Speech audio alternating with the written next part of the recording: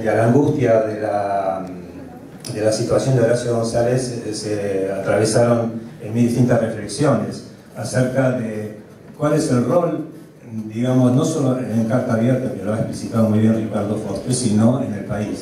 Eh, creo que Horacio González en la eh, explicitación, digamos, en su mesa, en su cierre, en su cierre de la mesa eh, del viernes del foro, ha estructurado, digamos, la necesidad de rescatar en estos pensamientos divergentes que expresaron los representantes de las iglesias, de la iglesia, de la iglesia católica, este, la, corriente, digamos, que arranca ilustrada, que arranca con Moreno y, y, él lo continúa con John William Cook.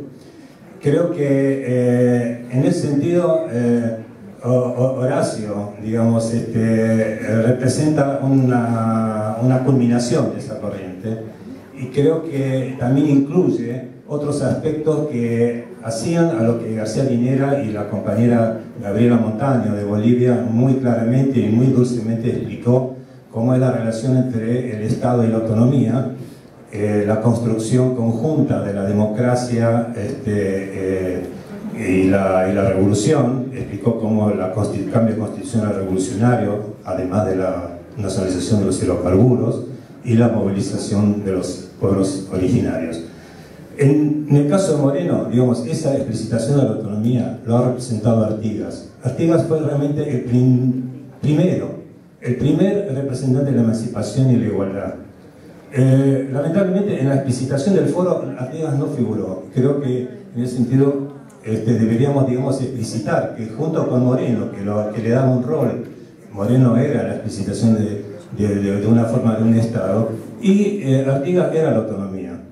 Esta explicitación también ocurre con el peronismo. el peronismo, junto con John William Cook, actuó la resistencia a la juventud, quizás la expresión más clara ha sido Álvaro Cadre, un hombre generoso como Horacio González. Así que en, esta mirada del, Estado y la autonomía y las corrientes, creo que Horacio tiene un rol este, de culminación y realmente este, eh, explicitaba ayer una angustia muy grande a ver si lo perdíamos. Nada más. Gracias. Otra cosa, la gente del foro explicitó en especial Constanza, que es una senadora del Frente Amplio en Uruguay, la posibilidad de constituir carta abierta en Montevideo o un movimiento similar. Este, creo que es una idea interesante, creo que deberíamos charlarla este, en el sentido de poder explicitar debates similares en otras capitales de América Latina. Gracias. Gracias. René.